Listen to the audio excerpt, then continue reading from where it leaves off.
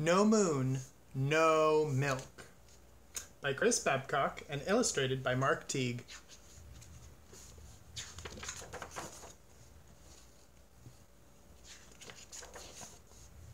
When Rob came to milk his cow one early morning, he found her udder was dry and her eyes were wet.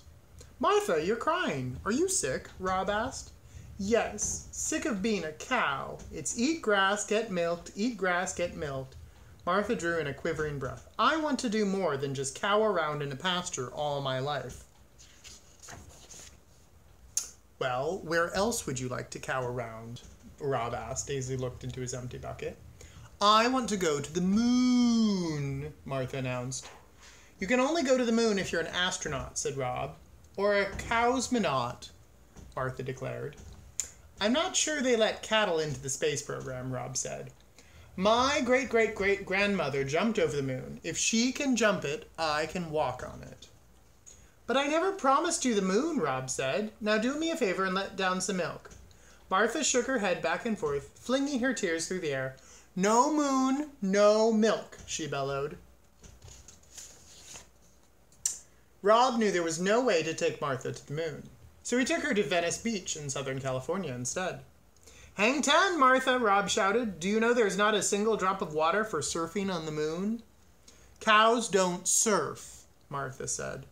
I know, I know, said Rob. No moon, no milk. No moon, no milk, Martha confirmed. But Rob knew there was no way to take Martha to the moon.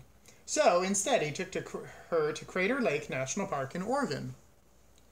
Look, Martha, a real crater, Rob said.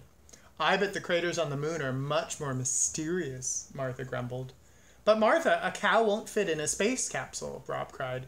No moon, no milk, said Martha. I'm telling you. Look at that. So cool. Rob knew he couldn't take Martha to the moon, so instead he took her to Radio City Music Hall in New York City. How do you get her on the plane? Look, Martha, it's the Rockettes, Rob said. Rockets? Where are the rockets? Martha asked, craning her neck. Not rockets, Martha. Rockettes. And you can bet there's no dancing like that on the moon. I don't want to dance on the moon. I just want to walk on it, Martha wailed. And she took off down the aisle and out the doors. And she cried, If you won't take me to the moon, I'll go there myself. Rob threw up his hands in frustration and ran after his stampeding cow. When he saw that she was heading to Central Park, he hopped on a bus, hoping to head her off downtown. Meanwhile, Martha caught up to a passel of skaters darting through the park Excuse me, could you direct me to the moon? Martha asked as she trotted along. Follow this path and hang a left at the fountain, said a skater. Martha mooed her thanks and galloped on. Rob had just gotten off the bus across from the American Museum of Natural History when Martha rounded the corner and came to a complete hoof sliding halt in front of him. A science museum, Martha moaned. What on earth can a cow do in a science museum? Well, there's a replica of the lunar surface you can walk on, Rob offered. Martha was already across the street and through the front doors before Rob finished his sentence. Restrain that bovine, a guard cried as Mal- Martha galloped by. I hope this works, says Rob as he borrowed a space helmet from a display case and ran after his cow to the lunar surface. Meanwhile, La- Martha had lost the guard in the domesticated animals exhibit. I swear I saw a cow run through here, said the guard. Hmm.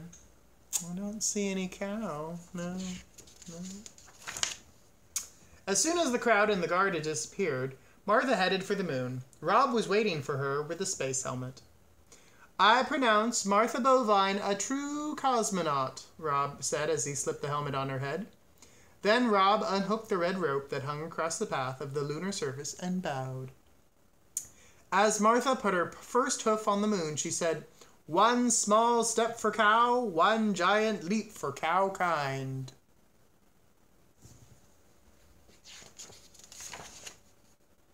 Martha had walked all the way over to where the American flag was planted when the guard finally found them. Cow on the moon! Cow on the moon! the guard shouted. There's the cow on the moon. Back to Earth, Martha, Rob yelled, and they both ran through the museum and back the back exit, leaving a breathless guard far behind. Zoop.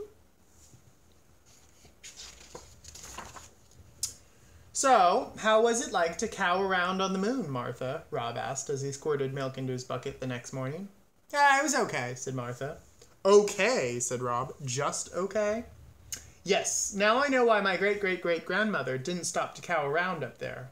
Why? asked Rob. Well, there's no grass, Martha said. The end.